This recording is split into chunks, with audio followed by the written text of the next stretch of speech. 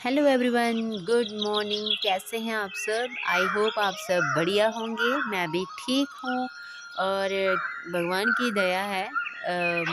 आप, मैं भी ठीक हूँ और आप सब भी मस्त ही होंगे। भगवान आपके घर में सब खुशी बनाए रखे। तो फ्रेंड्स चलिए आज का जो ब्लॉग है करते हैं स्टार्ट। तो मैं बस आज जो है मंडे है तो मंडे को मैं क्या कर रही हूँ? आज डेली मैं जो पूजा है तुलसी माँ की, वो मैं करती हूँ। और यहाँ पे मैंने बस जल चढ़ा दिया है माँ को और बस इनके जो चार जो परिक्रमा होती है वो मैं ले लेती हूँ और उसके बाद मैं जो है माथा टेक कर अपना जो काम है वो सुबह का स्टार्ट करती हूँ। बाकी मैंने सारा फिनिश काम कर दिया है बाहर का, जैसे काऊ को खाना वगैरह जो उसका चूरा वगैरह उसको जो डालना होता है वो डाल के आई हूँ। और बाकी सारा फिनिश हो गया, सिर्फ़ अभी खाना रह गया है तो चपाती बनानी है, सब्ज़ी, वेजिटेबल जो बनानी थी वो बना दी है, आज भिंडी बनी है घर में। तो बस आज का काम फिनिश होने के बाद मैं आज आ, कुछ जो ब्लॉग आज आपको दिखाने वाली हूँ तो आ, वो बस अभी कुछ मिनट बाद आपको मैं ब्लॉग दिखाऊँगी। तो ये मैं वीडियो साथ साथ में ही एडिट कर लेती हूँ।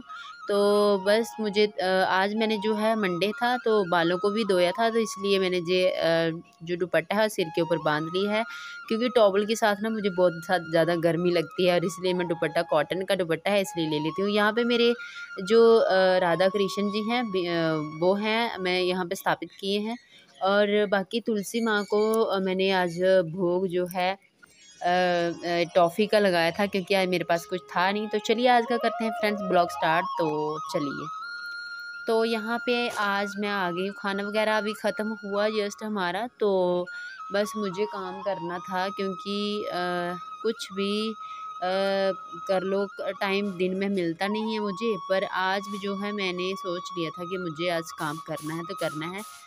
काम ये है गेहूँ है ये। गेहूँ को आज मैंने सफ़ाई करनी थी क्योंकि बड़े दिनों से सोच रही थी कि गेहूँ को साफ़ कर लेती हूँ, गेहूँ को साफ़ कर लेती हूँ, पर टाइम नहीं मिलता था। तो बस यहाँ पे आज मैं लग पड़ी हूँ गेहूँ को साफ़ करने क्योंकि गेहूँ में जो कंकड़ वगैरह होते हैं, वो निकालना बहुत ज़्यादा ज़रूरी होता है। नहीं तो जो आटे के बीच में जो आते हैं ना कंकड़ तो उससे हमारा जो आटा है वो भी ख़राब हो जाता है। तो इसलिए ये देखिए मैं बस थोड़ा थोड़ा करके जो गेहूँ को अच्छी तरह से उनको साफ़ सफ़ाई जो है अच्छी तरह से कर लूँगी। और उसके बाद मैं जो है थोड़ी सी छेड़ छेड़खानी। तो ये देखिए, यहाँ पे हो रही है गेहूँ की साफ़ सफ़ाई तो तो यहाँ पे देखिए, ये है अभी दोपहर का टाइम है तो मैं बस दोपहर को कुछ नहीं की हूँ आज। तो आज मैंने सोचा था कि मुझे यही काम करना है। गेहूँ जो हैं, वो पूरी तरह से जो है साफ़ हो जाएँ और आप देख ही रहे हैं, बस मुझे थोड़ी सी बैठे बैठे थकान हो जाती है और कभी मैं बैठ कर कर रही हूँ, कभी उठ थोड़ा सा खड़े होके तो कभी पाँव के पंजे के बल बैठ के सफ़ाई कर रही हूँ। तो कभी कभी मैं ऐसे भी बैठ जाती हूँ, देखिए इतना सारा भी आधा बोरा भी नहीं हुआ है, ये पूरा भरूँगी मैं। तो ज़्यादातर गेहूँ के अंदर ज़्यादा कुछ नहीं है साफ़ सफ़ाई करने वाला। पर लेकिन छोटे छोटे जो जो उसकी जो कनियाँ होती हैं ना, जैसे छोटे छोटे जो गेहूँ होती है, छोटी गेहूँ होती है, बिल्कुल बरी, बारीक वाली तो उसको निकालना बहुत ज़्यादा ज़रूरी होता है। क्योंकि अगर वो चली जाती है तो बहुत ही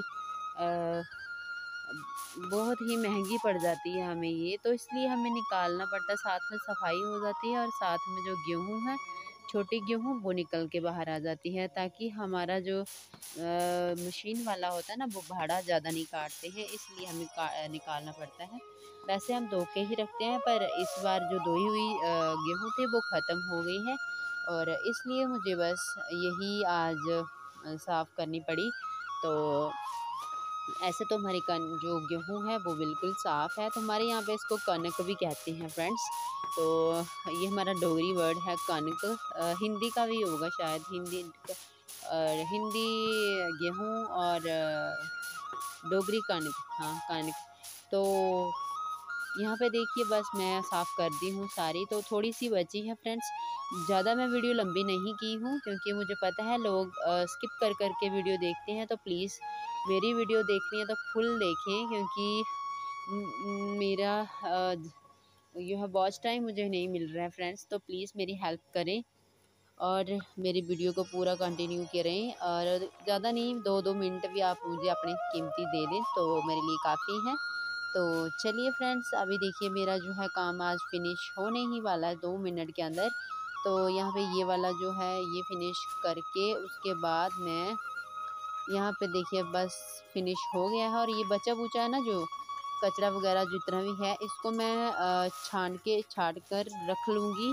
तो यहाँ पे देखिए लाइट भी आ गई है और इसको मैं थोड़ा छान कर रख दूँगी और इसका शायद दलिया वगैरह काम आएगा, दलिया बनाएँगे इसका। तो बस ये गेहूँ मैंने रख दी है, बिल्कुल बारीक वाली है, बाकी मैंने क्लीन कर दी थी। ये थोड़ी सी बची है, इसको भी मैं छान कर रख लूँगी अभी।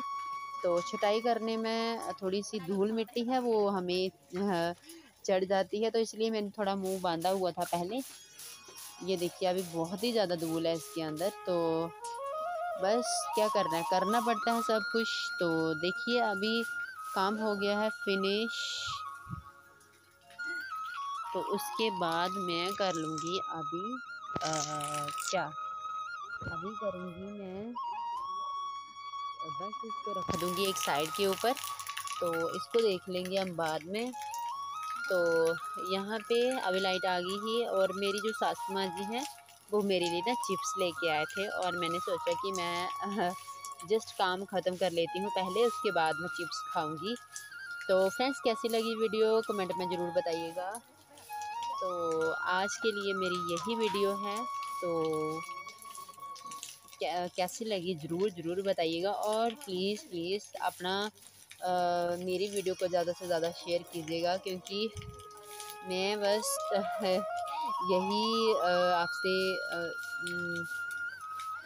रिक्वेस्ट करती हूँ क्योंकि जिन्होंने अभी तक मेरे को ज़्यादा सब्सक्राइब और सपोर्ट किया है उनका मैं बहुत बहुत थैंक्स करती हूँ। और आगे भी मेरे को ऐसे ही अपना प्यार बनाए रखें सपोर्ट करते रहें। तो ये देखिए, अभी बोरा मैंने जो है, भर के रख दिया था। तो चलिए, अभी मैं आपको दिखाती हूँ चिप्स की मेरी मम्मा ने चिप्स लाई है। तो ये देखिए तो अभी